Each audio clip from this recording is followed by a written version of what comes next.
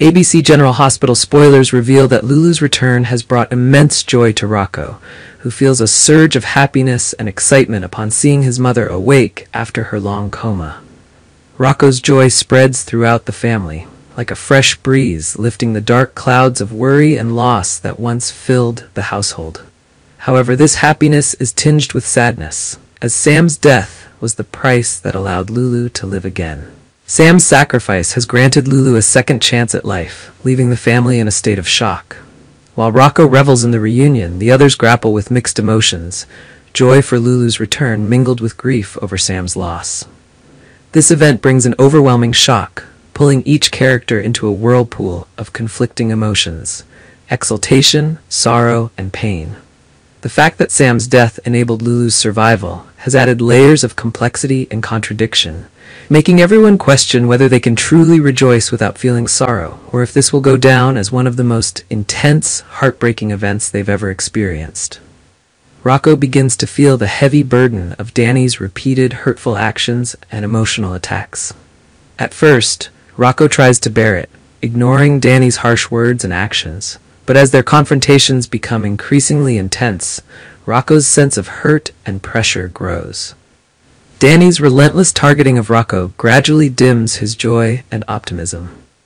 As the tension mounts, Rocco feels himself caught in a spiraling obsession, with Danny's torment eroding his emotions and spirit. Day by day, memories of their confrontations and the accompanying fear consume Rocco's mind, making him quiet and robbing him of his former innocence. These harsh, relentless changes gradually make Rocco withdraw, and without timely support, he may entirely lose trust and hope in those around him. Rocco stands at the edge of a mental breakdown, where his obsessions gradually extinguish his emotions, pushing him into a dark and isolating journey. Dante and Lulu, swept up in ever-growing dangers and conflicts, lack the time to care for Rocco, leaving him isolated and directionless. Without his parents' care and attention, Rocco feels abandoned, with no one to lean on during his most vulnerable times.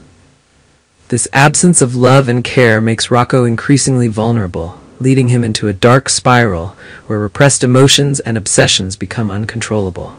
Over time, these bottled up feelings begin to erupt, and Rocco exhibits behaviors he has never shown before. Outbursts of unexplained anger, destructive actions, and uncontrollable rebellious episodes become part of his routine. Rocco starts to appear cold and distant to those around him, occasionally displaying disruptive behavior both at school and at home.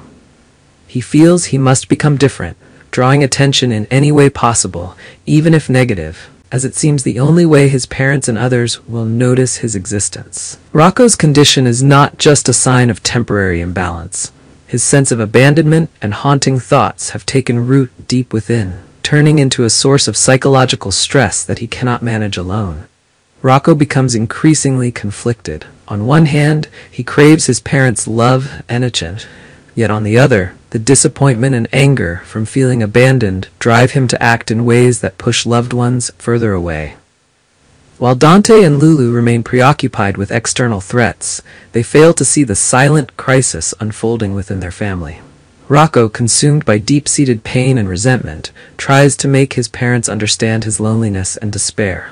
If Dante and Lulu do not recognize and intervene soon, Rocco may spiral further into psychological chaos, where his pain and obsessions will gradually kill off his positive emotions. A part of Rocco begins to lose hope, and without timely help, he may lose himself in this storm of emotions, pushing the family toward a new tragedy.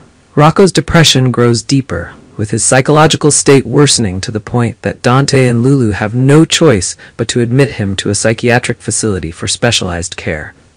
This difficult decision sends shockwaves through the family. The reality that Rocco faces a psychological crisis beyond their control leaves Dante and Lulu in deep sorrow and regret. They feel they have failed in their duty to protect and care for their son, and the thought of sending him to an unfamiliar place for treatment fills them with despair. In the facility, Rocco confronts challenging therapies, including exercises to regulate his emotions, control his fears, and address his feelings of abandonment.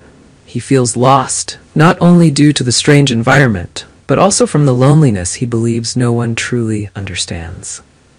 His days in the facility are full of tension and challenge, not only for Rocco, but also for Dante and Lulu, as they confront the responsibilities they neglected in the past. Dante and Lulu continuously struggle with guilt, blaming themselves for not recognizing Rocco's condition earlier. They visit him as often as possible, trying to offer emotional support, but the pain lingers. Rocco finds it hard to forgive their absence and lack of care during the times he needed them most. Their visits are tense, and Rocco closes himself off more, making it difficult to open up like before. Sending their son to a psychiatric facility has created a monumental crisis in the family, reshaping everything they once thought was stable.